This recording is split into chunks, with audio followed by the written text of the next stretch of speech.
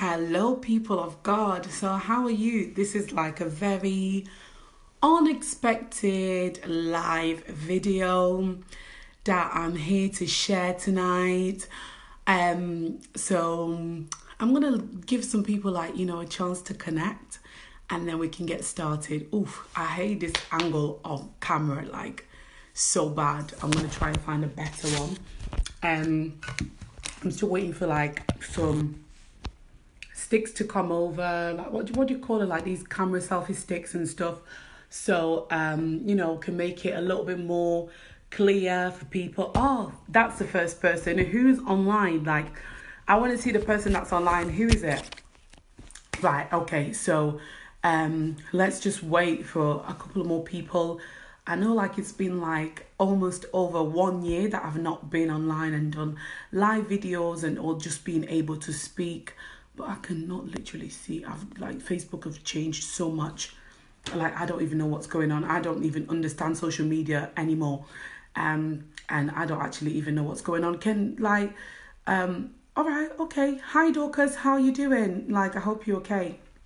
I thank you for joining me live today. So, starting the video, I just wanted to say that there's been something that's been bubbling in my heart for I don't know how long, and um, but like even when I was in work today, I just felt the need to share it. I've been feeling the need to share this word because I think that it's a timely word and I think that it's a word that everyone can relate to and it's something that we probably all need in our lives. Um a little bit of healing. Sorry, I'm gonna take my chewing gum out. Yeah, a little bit of healing.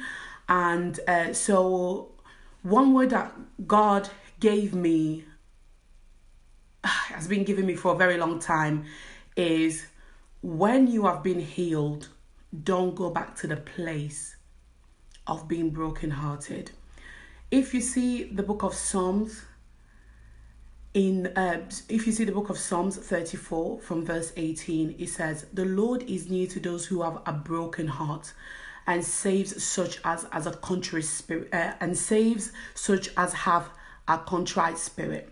So this message keep really really bursting into my heart um, and keep bursting into my spirit that when you have been healed by god don't go back to the place of being brokenhearted again. When you have been healed by god don't go back to the place of being sad again. When you have been healed by god here's a strong one accept the healing one thing that I've come to realize is that so many people want the healing without accepting the healing. So, so many times you see that someone's been brokenhearted and God has healed them, but they don't want to accept that healing where it comes to a place of self inflicted pain. That's what I call it self inflicted pain. Because I think that healing is also part of our responsibility to say it depends on the the the I would I, I can boldly say perhaps the maturity of the person and it depends on the spirituality of the person or where they are with God at that time and how much they are willing to trust God through that time. I'm going to tell you a story. Obviously, you can see on top of my uh, page, it says that breaking off my engagement. So I was in a relationship for a very long time and you know things got serious and you know letters were delivered to parents so forth backwards and then things just did not work out. So, you know, uh, that engagement got broken off and it was to a point where I bought my engagement dress and I bought my dowry dress, not engagement dress, sorry, my dowry dress. So as I'm speaking to you right now, I have my dowry dress at home, like, you know, a dress that I was going to wear at my wedding. That is in my house.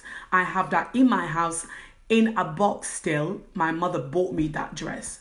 So I, when I broke off that engagement, when that engagement got broken off, obviously I was in a place of being hurt and I was. I was saddened in my spirit because what happens is, as a woman, when you get into a place of having a relationship, a serious relationship, when you know that it's going to lead into marriage, you start to prepare yourself emotionally, mentally, spiritually. And you know, as a woman, you also be you, you start to become a little bit broody. I was feeling a little bit broody. I came from a background where I didn't really grow up with so many brothers or sisters, but I um, you know, I I, I started to feel like I loved children so much. I became so passionate for children. I became so passionate for for house and all that kind of stuff. And I just wanted to expand myself more because I knew that I was getting for a, ready for a new stage in my life. I was getting for uh, ready for a new stage of you know the graduation of marriage in my life. So when that engagement broke off, I was crushed, obviously. I was so crushed in my spirit. I was so crushed physically, mentally, emotionally, and at the same time as well at work. I was going through some very, very. Um, I'm, I'm actually I'm not going to mention that. Actually, I, I decided to keep that private. Um, so going back to my engagement, I was really, really broken, and I was really saddened because my mind has been programmed and my my uh, spiritually that's all i was praying for. I came out of facebook for a very very long time. You guys did not see me for a year. Everyone was thinking what's happened to her? Where's she gone? Where has she been? And i was just getting ready for that stage of my life. So when that didn't happen obviously i'm not Jesus Christ and I am not an angel so I have you know I have blood flesh and I was crushed. My spirit was crushed. I was really really crushed to the point that if I can be very uh, vulnerably honest that I couldn't pray anymore. But you know what? God has been my strength. Why? Because in the midst of where I couldn't pray even more I couldn't pray more sorry I wanted to get up and pray. And when I started to pray, what I started to notice is that I started to get back into that place of healing. God started to heal me. First of all, before talking about how God healed me, my background, I have come from a background of disappointments. I have come from a background of oh, of rejection and I have come from a background of you know, having low self esteem, or um, I've come from a background of wanting to be so suicidal. Um, so, God, I was not planning to shed any tear. So, for me, my objective and my goal has always been to never go back to that place again. So I will do anything, you know, by the grace of God to come to not go back to that place again. So when God started to heal me, whenever I talk about my past, I always get upset because God has taken me from so far. So when God came to heal me in that place, I decided to accept the healing of God. Yeah. I decided to accept that you know God works and I decided to to not become bitterness, to not become bitter, sorry, because what I found is that I found that God has given me the mantle in order to speak out to the world and in order to speak out for young women. So one thing that I can't do is the sorry, I can't afford to be a her prophet. I can't afford to be a hurt minister. I can't afford to be a hurt uh, singer because otherwise I'll be singing from a hurt place. I'll be prophesying from a hurt place. I'll be saying the word of God from a hurt place and I will be bitter in my heart. So, one thing is that when God decides to heal you, you get up and you accept that healing and you say that, you know, this is enough. I'm going to draw the line here and I'm going to be strong for myself.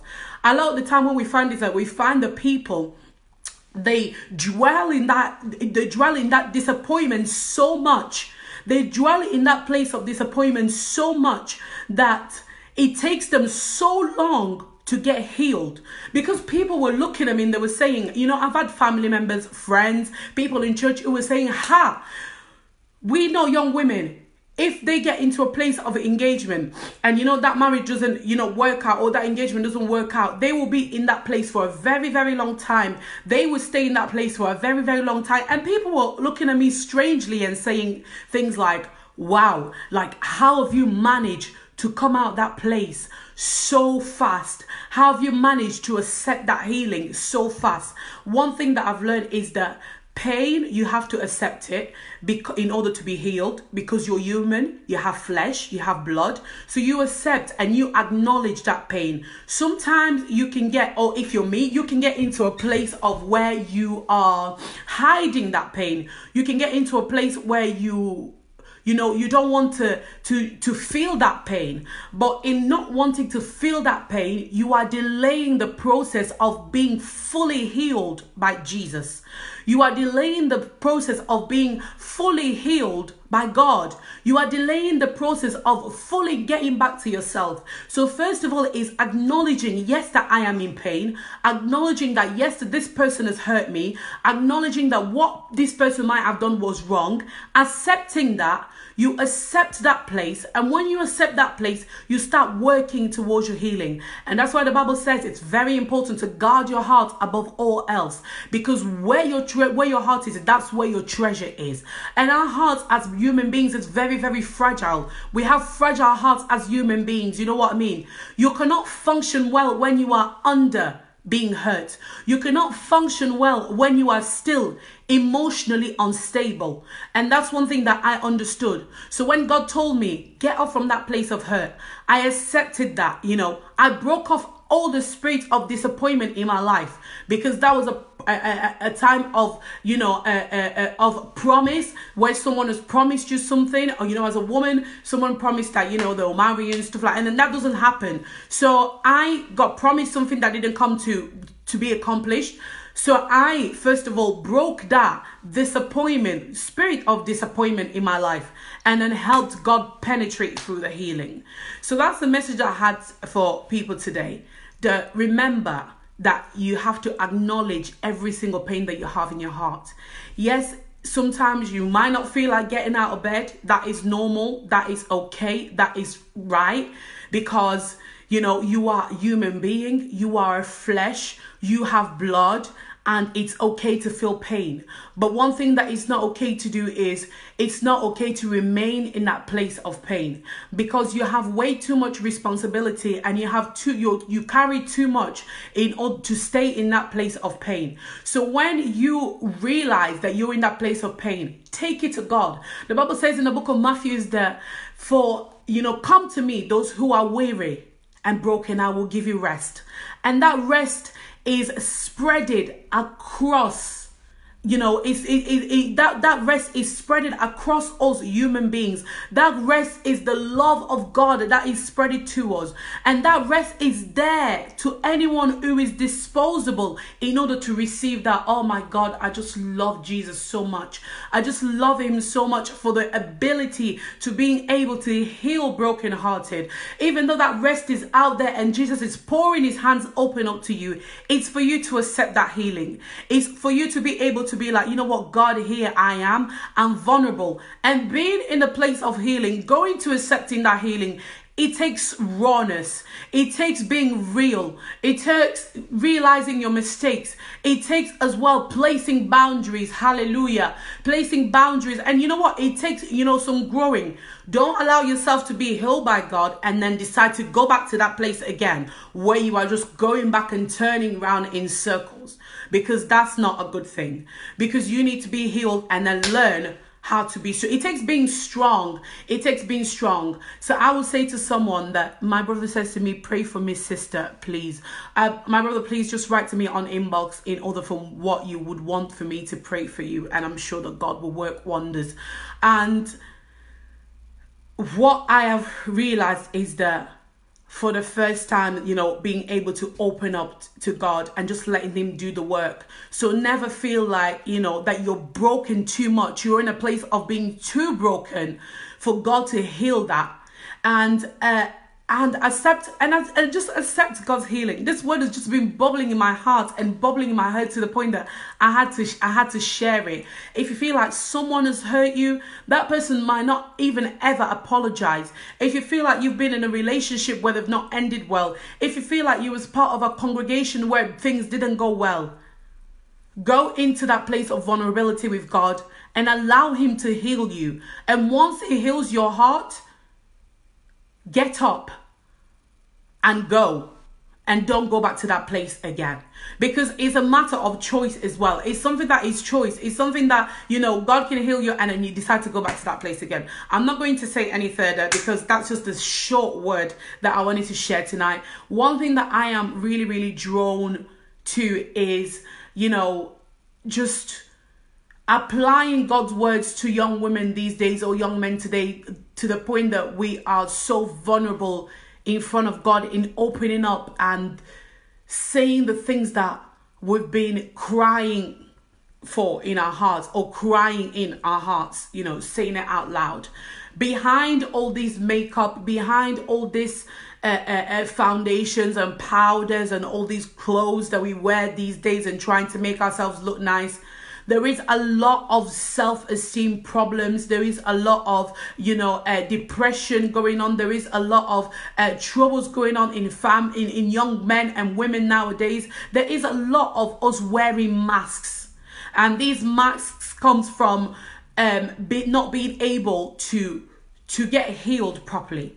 So, in order for you to hear more about this story or to just hear about me speak about being a single Christian woman, um, I am going to be speaking at this event, which is called a single married divorce on the 12th of October 2019 from 4 till 9 p.m. Now, listen, I know that this has just been bubbling in my heart, and I am expecting God to work wonders, and I am expecting God to just move unexpectedly. I just know that God is going to cause so many uh, broken hearted to broken hearts to be healed that night. So, this is a Christian, well, you know, we're not going to say Christian, we want everyone, we're inviting everyone to come, whether you're Christian, Muslim, Buddhist, whatever your faith, we're inviting everyone, we're encouraging everyone to come because these types of subjects tend to be taboo. In our uh, community, in our Christian community, our homes, if you're African like I am,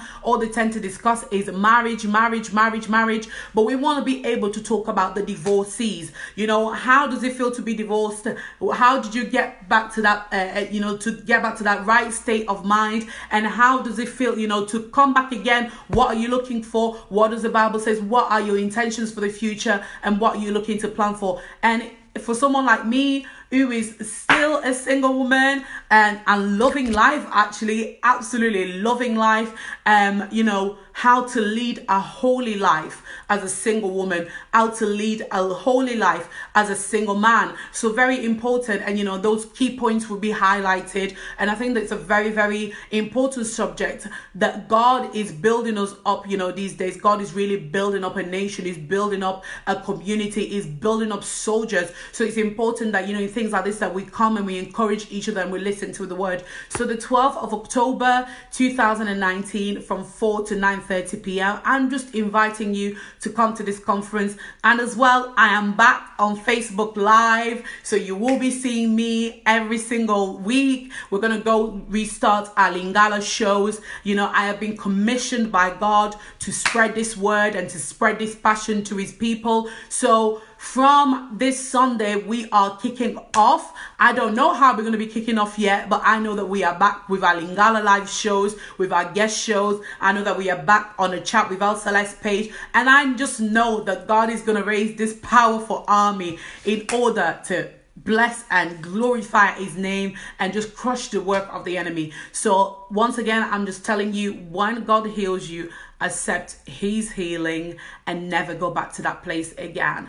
Get up and leave. So thank you so much for watching today and I really really hope that you enjoy this. Please share, please like and please comment and please inbox me as well if you want me to expand and elaborate much more. Uh, and God bless you all. Take care.